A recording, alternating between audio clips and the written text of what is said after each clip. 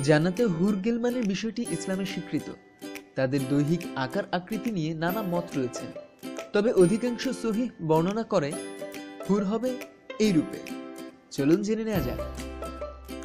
জান্নাতের অন্যান্য নিয়ামতের ন্যায় হুরে ইনও একটি নিয়ামত হবে। কোনো কোনো হুরে ইন ইয়াকুত ও মুক্তার ন্যায় লাল হবে। অতুলনীয় সুন্দরী সাথে সাথে হুরে ইনরা সতীত্ব ও লজ্জা নিজেরা নিজেদের তুলনীয় হবে।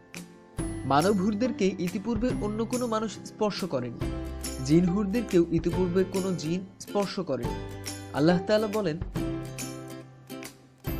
তথায় থাকবে আয়তনয়া, রমণীগণ। কোনো জিন ও মানব পূর্বে যাদের স্পর্শ করেনি। অতএব উভয় তোমাদের পালনকর্তার কোনো কোনো অবদানকে অস্বীকার করবে। প্রবাল ও পরাগ সদৃশ নারীগণ, অতএব তোমরা উভয়ে তোমাদের পালনকর্তার কোনো অবদানকে অস্বীকার করবে?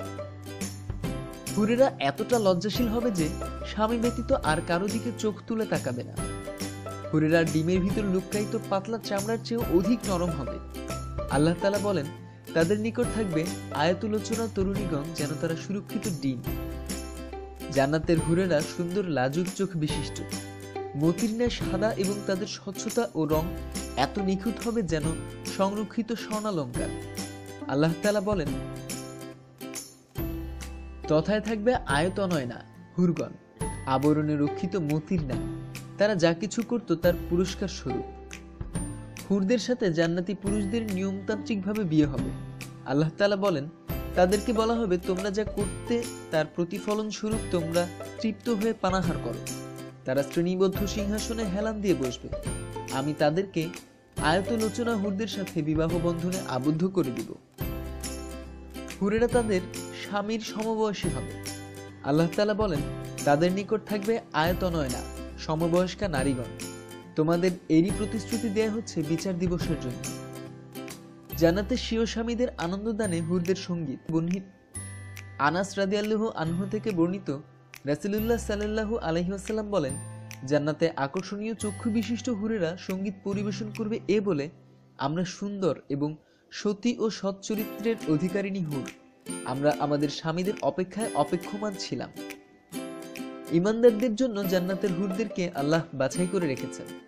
মুয়াজ বিন জাবাল রাদিয়াল্লাহু আনহু থেকে বর্ণিত, তিনি বলেন তিনি বলেন, রাসূলুল্লাহ সাল্লাল্লাহু আলাইহি ওয়াসাল্লাম বলেছেন, যখন কোনো মহিলা তার স্বামীকে কোনো কষ্ট দেয়, তখন আয়তনয়না হুরদের মধ্য থেকে মুমিন স্ত্রী বলবে যে, আল্লাহ, তোমাকে ধ্বংস করুন, তাকে কষ্ট দিও না।